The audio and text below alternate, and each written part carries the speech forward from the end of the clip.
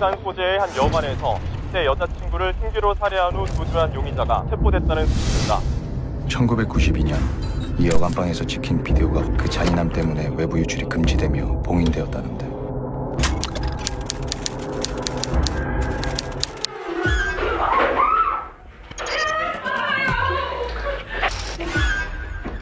검사들 사이 이 비디오가 화제가 된 것은 전혀 뜻밖의 이유 때문이었다고 한다. 그때 귀신 들리는 비디오 내면서 돌려봤어요.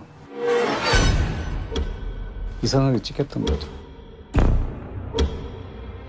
몇 명이 죽었다나 봐. 영화 들린 사진 저거 왜 만져?